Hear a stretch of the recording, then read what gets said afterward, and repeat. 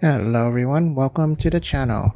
I have been playing Wuthering Waves for a while and with the release of the new first update today, I thought I should share a few things that I learned the hard way with you so that you can start playing without making the same mistakes that I did.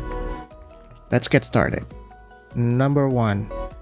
First off, you're probably already aware that you get a lot of XP item from the challenges, quests, and events that are available and that you can spend them any way you want. Don't. These resources may seem plentiful in the beginning, but they become quite rare when you start finishing all the questline and events. So don't spend them until you are sure of the character you want to use. Number 2. Don't level up your weapon unless they are purple or gold. Personally, I wouldn't level a purple weapon past level 50. It's just not worth it. Wait for the gold weapons you want from the gacha pool you will need a lot of those XP items to level gold weapons, so don't waste them on anything else. Number 3. Don't upgrade or tune any echoes until you get them in gold.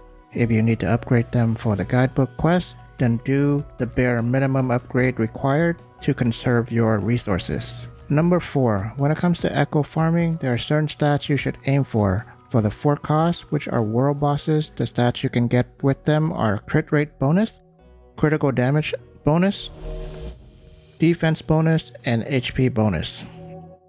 For the 3 cost echo, you will have the same crit, attack, defense, and HP bonus. However, they have an additional stats that you should aim for, which is a specific element attack bonus.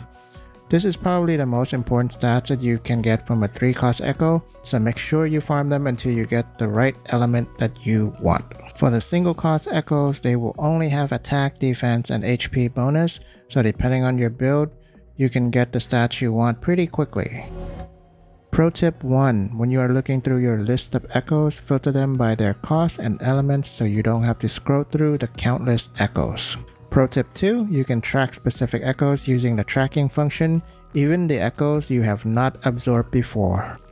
Pro tip 3, some of the events will give you a reward that will allow you to select one gold echo of your choice with the element bonus that you want. So this is a good way to get that one annoying echo that you just can't find. Pro tip 4, save all of your green, blue, and purple echoes until you reach databank level 15 so that you can use the merge function to get gold echoes. This not only power level your databank, but it also save you a bunch of time farming for all the gold echoes. And last but not least, selecting the team is important so keep in mind when creating your loadout. For example, sword using characters will all use the same material for skill upgrade, so if you only play characters with sword, you will have a hard time with the upgrade resources for weapon, skill, and etc. So it is definitely a good choice to vary your loadout with different weapon user. It is also best to vary your elements for the character as well. Don't use character with the same element affinity or you will have a hard time against some of the mob. It will also save you a lot of time if you always have a gunner in your team because there are puzzles and challenges around the world that will need a gunner. Having to go into menu to switch character loadout each time is just plain annoying. And for those of you who think Gunner are weak, watch this. Chixia probably does more damage than my Rover.